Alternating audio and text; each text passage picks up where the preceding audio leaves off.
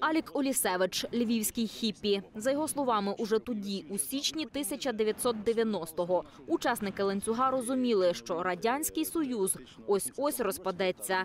І саме ця акція показувала єдність України і її чітке відокремлення від союзу. Зараз він на тому ж місці, де 33 роки тому став частиною живого ланцюга. Тут і потім я переходив, можна сказати, повз е, клумби, де Шевченко, і до готелю Львів.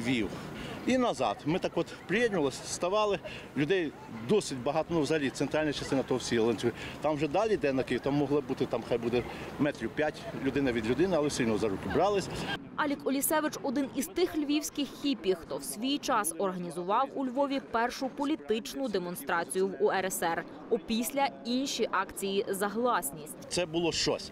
Бо це, е, власне, починаючи і ще, можна так сказати, е, з 88-го, коли в нас такі е, почались е, політичні перші такі демонстрації, можна сказати, мітинги.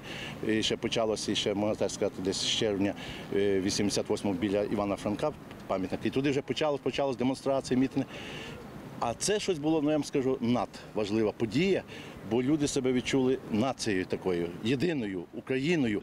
У цей час Петро Радковець, тепер львівський екскурсовод, став частиною ланцюга єдності разом із батьком на межі двох областей Львівської та Тернопільської. Батько тоді працював е, ви- водієм-випробувачем в інституті автобусобудування. І дали автобус. Інститут дав автобус, і разом з ними ми поїхали. Їхали, їхали, їхали. І там стояли спеціальні пункти, роз- розмежували, де кому зупинятися. От ми зупинились е, якраз на кордоні Тернопільської і Львівської областей, і е, це було щось неймовірне. Це їхали машини, махали прапорами. Е, Кожен це було настільки емоційне піднесення. За словами історика Івана Сварника, люди не боялись і масово вийшли із синьо-жовтими стягами у ланцюзі, попри те, що до офіційного проголошення української незалежності залишалось понад півтора року.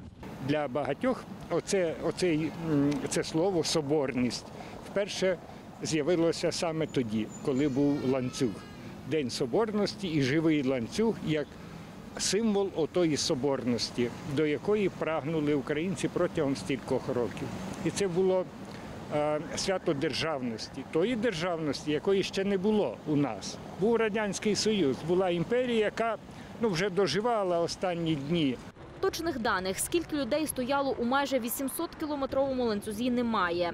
За даними Інституту національної пам'яті, більше мільйона людей, узявшись за руки, створили безперервний ланцюг від Івано-Франківська до Львова. І це була одна із найбільших у центральній і східній Європі масових акцій того часу. Такий живий ланцюг, як символ єдності східних і західних земель та вшанування подій української революції. Ірина Мочульська, Володимир Стадник, Суспільне новини, Львів.